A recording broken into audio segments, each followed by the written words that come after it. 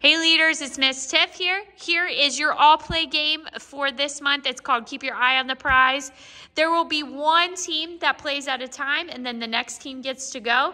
You play five kids will run at a time and then they'll pass their frisbee to the next kids in the line just to make sure everybody could go. You have a bucket of ball pit balls and then you have frisbees right there. You could hold them with two hands, but you may not hold the top of the ball.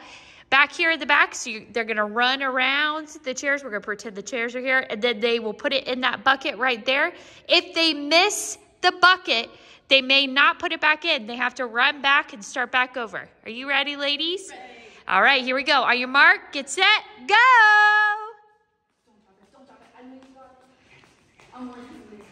They're working together, working together. So then they would rub back up. Good job. They're running back up. And then they would pass it to the next friend, and then that friend will pick it up, and then they'll keep going. The team with the most balls at the end of one minute is the winner. Have fun, guys.